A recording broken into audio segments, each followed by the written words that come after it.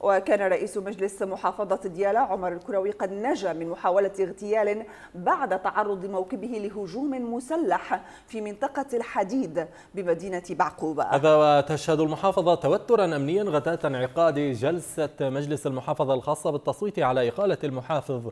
مثنى التميمي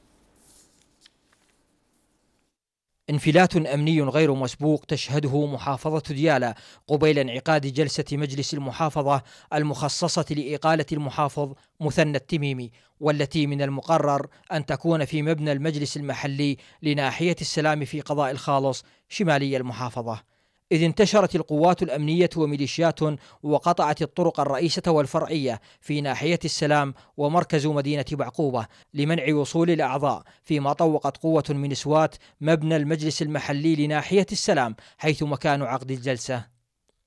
وحاصرت الميليشيات ستة أعضاء في ناحية دل عباس فيما حاصرت ميليشيات أخرى أربع عشرة عضوا في ناحية السلام بمنزل عضو المجلس ساجد العنبقي ما دعا أعضاء مجلس المحافظة إلى توجيه نداء عاجل إلى رئيس الوزراء حيدر العبادي لإرسال قوة لفك الحصار عنهم. وهذا ما حصل بعدما أرسل الأخير قوة خاصة قادمة من بغداد لكن على ما يبدو إنها لم تشفع للأعضاء بسبب الانتشار الكبير للميليشيات الذي فاق عددها هذه القوة. واستخدم المحافظ مثنى التميمي كل الوسائل للضغط على الأعضاء لثنيهم عن إقالته. منها إصدار مذكرات قبض جديدة بحق اثنين من أعضاء المجلس فيما لا يزال قائد عمليات ديالا يضغط على الأعضاء لتأجيل الجلسة إلى شهر كامل.